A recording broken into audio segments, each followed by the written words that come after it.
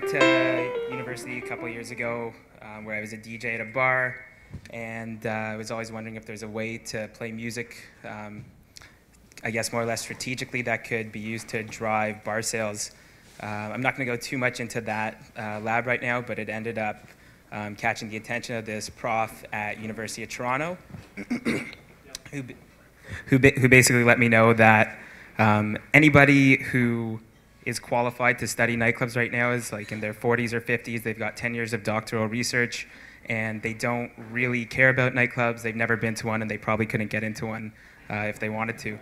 So we'll start with um, with uh, what is a nightclub. Um, a nightclub's been around for 40 years, more or less. Like think like Studio 54 and the Saints back in the 70s, and um, you're putting a species um, that's been evolving for millions of years uh, inside this room. So in terms of evolutionary time, that's actually a really, really small sliver.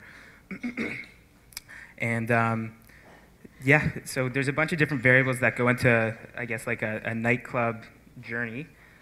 Um, there's music and lighting. Music is something that I'm, I guess, most passionate about. These two affect your, um, your sensory interpretation of the night. And an important thing to, notice about, to note about music is that um, it's kind of a mystery to how it evolved. Uh, every single person in the world likes music to some extent. It's cross cultural, and it's been like that for every civilization um, as far back as we can document. so, in terms of natural selection, that means that the people who liked music uh, lived to pass on their genes to their offspring, and the people that didn't like it died. So, a big uh, a big mystery is, is what is the survival advantage to music, and people have taken a bunch of different theories at it um, and a bunch of different stabs, but uh, I'm going to get into mine in just a minute. So you've got music and lighting. Um, those two are affecting your senses. Then you've got drugs and alcohol, which are affecting your perception, so how you're actually interpreting the information throughout the night. And then you've got sex and social status, which are actually what the commodities in a nightclub are. Um, a nightclub does not sell alcohol, it sells sex and social status, but we'll get to that in a minute. And then on top of all that, there's an entirely different set of rules. There's different social norms inside a club. So if you want to go and say talk to a girl and buy her a drink or invite her to your booth, then you can do that. But it wouldn't necessarily go over as uh, you know as easily in um, like a grocery store or something like that. Uh, in terms of the legalities within a nightclub, uh, there's an entire this part of society um, operates on an entirely different set of rules. So people break the law inside there all the time, but they're making the club so much money that um, to kind of sum things up, everybody's paid off to look the other way. so most, most of my research is, uh, is on the side of alcohol. Um, if you think of like the duality that exists inside, inside of people, you've got um, your biology or, or your innermost drives, um, kind of what makes us human, and then the, your sociology, and, and that's more or less like the social norms. So um, you know, uh, like an example could be that you want to, like your biology is saying, um, go and get that Big Mac, and your sociology is saying, um, don't do that, like you have to stay fit and in, in, in shape uh, so you can attract members of the opposite sex or whatever. So by drinking alcohol, it actually knocks out um, the top level cognitive processes in your brain. Um, and it exposes the more primitive drives, which are food, water, sex, and aggression. And if you think of all those in terms of a nightclub context, uh, water's pretty obvious, everybody's drinking. Uh, sex, people hook up in a nightclub. Aggression, 50% uh, of all violent crimes are alcohol related. And food, kind of like the example before, like after the bar, you don't go somewhere for a salad, you go there, you go out for like a cheeseburger or fries or something like that. So I've done about 12 studies over the last four or five years, and tonight I'm only going to talk about my most recent one, um, which is what I spoke about at TED in Long Beach this year, uh, with James, but they cut me off after four minutes, so I didn't really get all my thoughts out. So, um, being a uh, part of being a, like a good DJ is to look at the room and to play what they want to hear. So you have to be constantly reading the crowd. So if you play a song that goes over really well uh, by this group of people, then you have to remember a couple other songs that go along well with that. Keep it in the back of your mind, then play for another part of the crowd, and then incorporate those in throughout the night. If you just want to play what you want to hear, uh, you're not going to have a good night. The bar's going to suffer. People aren't going to have a good time. They're not going to come back. and uh, you're probably not, not going to get hired to play at that place again. So the idea for this study, which I'll get to in a second, came about right around the time of the economic recession around 2008. I was booked to play at this bar. It was like two weeks after the big crash, and everybody was in panic um, about losing money and everything like that. This is a room that I played like probably dozens of times. And, um, oh, thanks. this is a room that I played dozens of times, and like, uh, I knew, like, there were so many familiar faces in there. I knew exactly what people wanted to hear, but for some reason, they were only responding to this kind of music that's called uh, electro house. And electro is really fast, and it's in minor keys. So a quick offshoot on, like, I guess, music theory. Um, you've got tempo, which ranges from slow to fast, um, and that's just the number of beats per minute. And then you've got modality, um, which is, you know, if something's major or minor. Um, an untrained ear can tell you within a few notes, usually, if something is major because it sounds happy, and the same with minor because it sounds sad.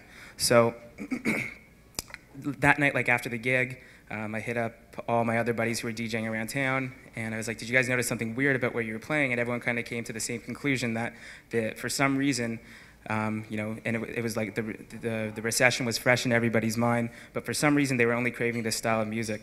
So what I did was I took um, every song that's ever touched ground anywhere on the Billboard Hot 100 charts, and I cross-referenced that with the Dow Jones Industrial Average to see if there is a relationship between like literally how much money is in our pockets and, and how we feel and what music we listen to.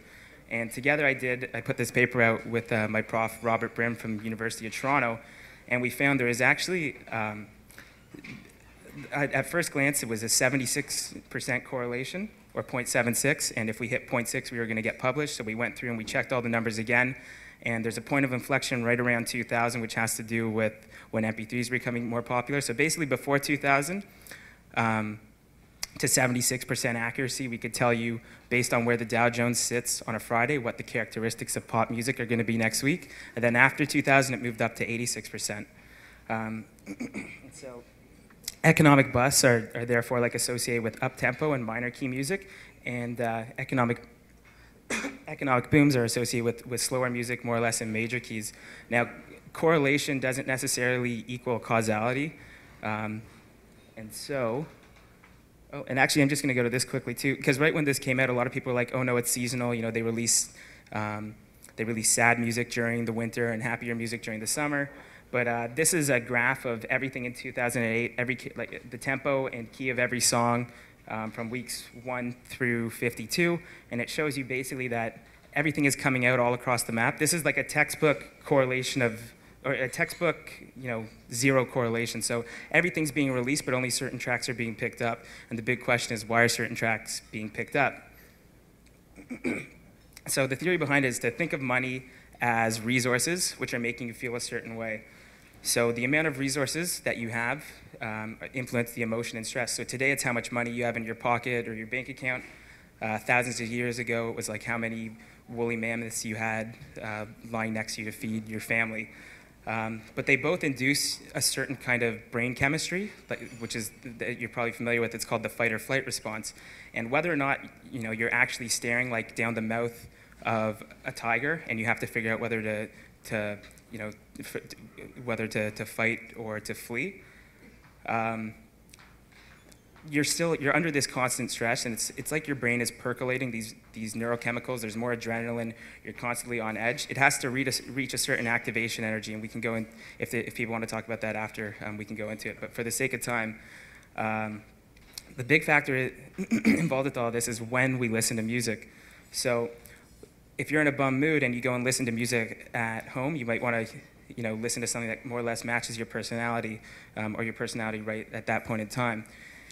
If you're in a bum mood and you end up going to the bar, where this, you know, this is about buying bottles, and a bottle is very much a prop, a, a prop displaying resources, fin- financial resources, number of bottles at your table. You know, if you spend a certain amount of money, you're sitting in a better part of the club. Um, when you're at those clubs, regardless of how you feel, you, the, the, mentality behind these bottle buyers is they want to look as if the recession isn't bothering them. And so it mirrors all the way down to um, how we feel and whether or not music is an emotional reflection um, where, it, where it inverts or it's a mirror. But um, another thing about the strength of the data, Uh, there was the payola scandals in 2005, where radio labels, uh, where record labels were paying radio to promote their tracks um, to get them big. Uh, and then also, like before that, when all the power was at um, was more or less in the in the hands of the record labels, music was in uh, was produced uh, on vinyl. Then it moved to CD, and then MP3s, and then now what we call the super MP3, where it's you know it's by far like the dominant form of music that's being shared on the internet. So less power is going towards the labels, and more towards the tastemakers. So every day, um, the shift is going that way, and the musical taste has always followed this pattern. And then uh, just a quick teaser um, about more or less like the nightclub psychology and sociology that I that I've been studying and writing about for a couple years. I've got a book coming out at uh, probably within two or three months from now. Um, if you go to darwinversusthemachine.com, that's my blog right now. You can also join the mailing list to figure to find out when the book comes out. It deals a lot with rationality and decision making, uh, particularly when we do it when these nightclub stresses are, are put on people.